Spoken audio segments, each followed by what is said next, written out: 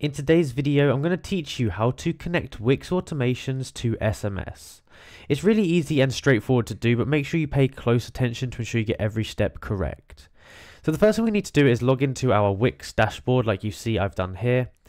And we want to go down to the bottom left corner. And you can see here there's a section called automation. So we're going to go ahead and click on that. Now, once it's loaded up, we're going to actually have to create an automation. And this really depends on the needs of your business.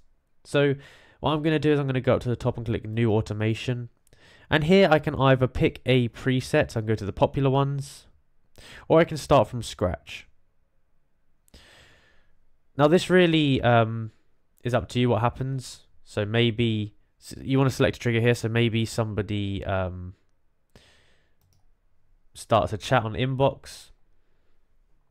And then you have to decide what action you want to go ahead and do. For this, we're going to go ahead and click connect to Zapier. And I'm going to activate it. I'm going to call this start chat slash Zapier. And click save. I'm just going to activate anyway.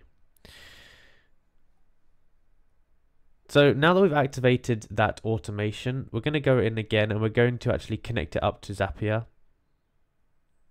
Any second now. So I've gone back in and you can see there's a go to Zapier section. So I'm going to click on that. It's going to open up Zapier and allow me to connect. So now that we're in Zapier, we're going to go up to this little plus icon in the le top left and it says create a Zap. So we're going to click on that there. And we're going to set the trigger event as Wix We'll use this one here. And then for the event itself, we're going to go down to the very bottom. There's this Wix custom trigger. So we're going to click on that there. We're going to click continue. And you can see I've actually linked up my Wix account here, but you're going to have to go ahead and link it up there. It's just going to ask for some permissions. So go ahead and do that. Now we're going to click continue and we're going to select the automation rule. And we've just created this one here. So we're going to select that one. So start chat. We're going to click continue.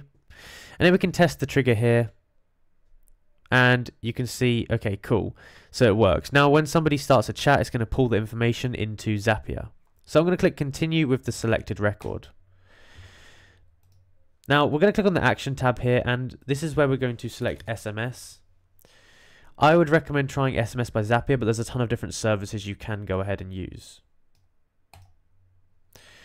So for the event, we're going to use the send SMS section going to click continue.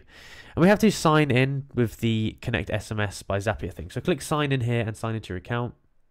And basically what you're going to have to do here is you're going to have to give them access to your SMS. So you need to put a phone number in here and then you need to confirm it by SMS or call. It's going to send you a pin and that will basically integrate the SMS number. So once you've gone ahead and actually connected that all up, you're going to be able to go down here and you're going to be able to configure what actually is sent and the SMS messages that you send. It's pretty simple and straightforward to do. Finally, once you have set all of this up, you can go up to the top, you can turn the zap on, you can publish it, and then it should work. You can also test it, so every time you get the trigger met in Wix automations, it's going to send you uh, send the SMS here. But that's basically how you do it. So if you enjoyed the video and found it useful, be sure to like, subscribe, and comment down below. That helped. Thank you for watching.